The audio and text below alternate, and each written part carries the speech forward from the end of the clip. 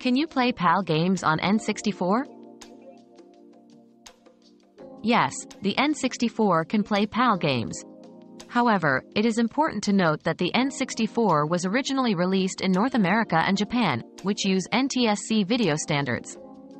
PAL games may have compatibility issues or display differently on an NTSC console. It is recommended to use a PAL N64 console for PAL games.